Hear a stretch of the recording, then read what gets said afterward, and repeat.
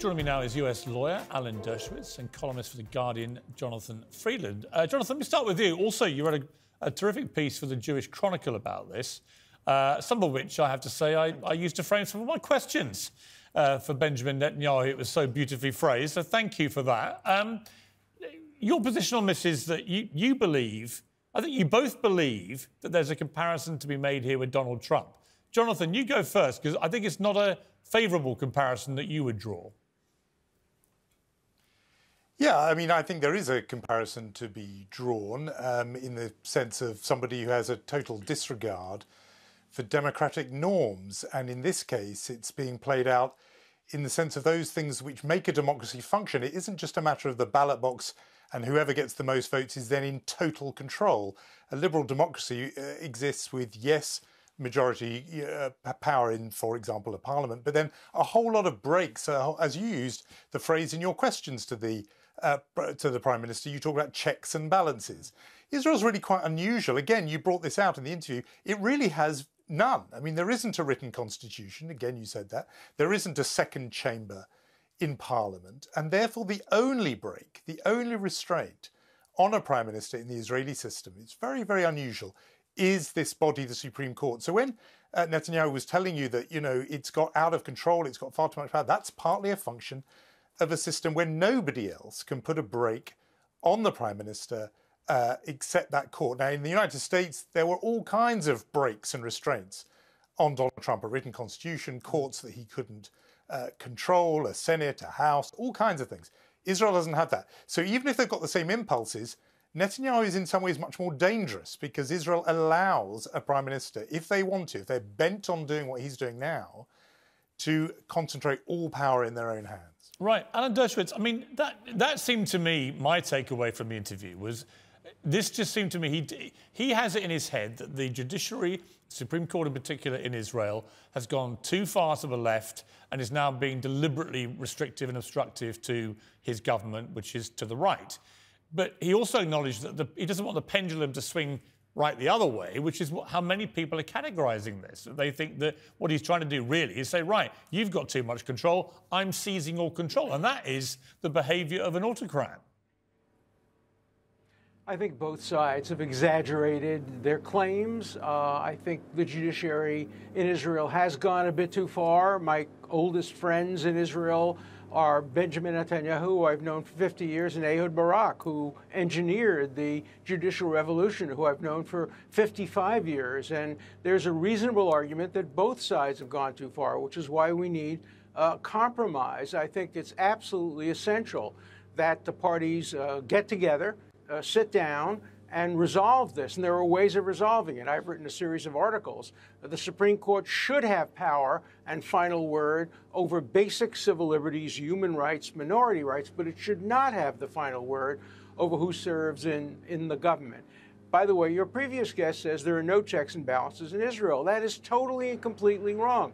There have been six elections in the last, what, five years or five elections. That's the ultimate check and balance in a democracy. Throw the people out if you don't like them, if you can't maintain your government together. Very, very few countries in the world have judicial review. Israel may have more judicial review than any other country in the world. Uh, but I'm on the side of the Israeli uh, Supreme Court. Uh, but I do think that both sides have points to make.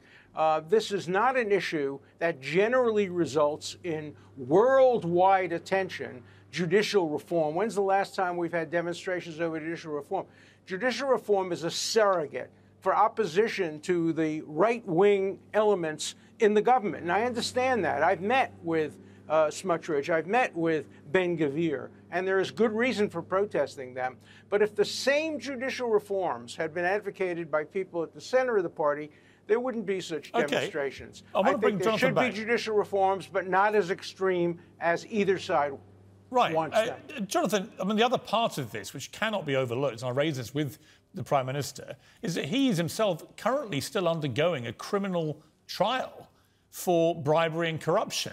And of course, people are saying, well, of course he wants to control the judiciary because that means he can then control what may or may not happen to him or indeed future leaders who get themselves into similar positions. Yes. Yeah, this is the crucial point. I mean, I, I think, you know, great respect for Professor Dershowitz's analysis there, although I did like his position more in January when he was saying if I were in Israel, I'd be at those at those protests. That's because this isn't a debate in a uh, legal seminar room among you know Harvard law students. This, and it's understood by the people who are heading to, onto the streets, this isn't just some abstract matter of uh, refining a few tweaks to the precise uh, arrangements of the Israeli constitution. This is a power grab. It's happening now because uh, Benjamin Netanyahu is on trial for three very serious counts of corruption that where if he were convicted, he would end up in jail. And he does not want to go to jail, and therefore he wants to have some control over the judges of the Supreme Court who would hear, if it came to it, his appeal. So this is pretty naked. I mean, people, there, no comparison is perfect, but people have said this is as if in during Watergate, Richard Nixon decided to tear up the Constitution and make the Supreme Court something which he, whose members he could decide. And in his interview with you just now, he, Netanyahu tried to uh, suggest somehow that this would be not him, it would be politicians. It would be his appointees, Likud member sort of hacks, who would sit on the committee that would do his bidding and put in, if they got their way, judges who would do his bidding. So this is serious business. Those people on the streets would not be there if this was just an abstract theoretical okay. debate. They're there because they understand well, what's at risk for their country. Okay, Alan, finally, just quickly, um, this poll, very worrying poll, I, I that American to... support from Democrats yeah. and 18 to 29s moving away from Israel now to Palestinians. Well, first of all, that's been a movement of young people for a long time. But I want to talk to the comparison between Trump and Netanyahu. I wrote a new book called Get Trump, which is about efforts to try to prevent Trump from running for office by illegally and improperly going after him by weaponizing the criminal justice system. There have been efforts to do the same thing with Netanyahu. These three charges against him are totally phony charges, and they're designed to remove him from office. And nothing in the judicial reform would make it easier to win the case. His case will be won in front of trial judges that were appointed years and years ago and that serve for life. So I think there are analogies. There are analogies because a lot of people in Israel want to get Netanyahu, and a lot of people in the United States want to get Trump. But that's where the analogies okay. stop. I think we ought to think about these on their merits and not try to personalize them because I think these these issues of judicial reform are serious, okay. and we should sit down and resolve them with both sides getting an opportunity to make their points. Well, I suspect that's exactly what's now going to happen because I think Benjamin Netanyahu, my sense was he's been pretty shocked by the reaction and the scale of it, and I think uh, above I all else, he's proven himself to be a survivor and a pragmatic politician. So I suspect he's going to get around a table and water down. But for now, Alan Dershowitz, Jonathan Freedland, thank you both very much indeed for joining me. I appreciate it.